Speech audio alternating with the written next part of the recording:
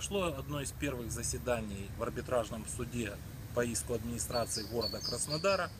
И вот э, можно сделать вывод. Демократия в нашей стране не просто достигла апогеи, она просто за критической уже чертой такой высоты и полноты.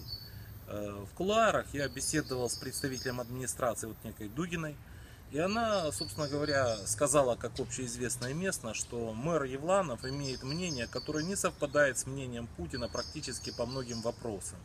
И, собственно, он не обязан свои действия соотносить э, со словами или какими-то указаниями Путина. Он действует самостоятельно, так как его избрали, и он теперь может делать все, что угодно.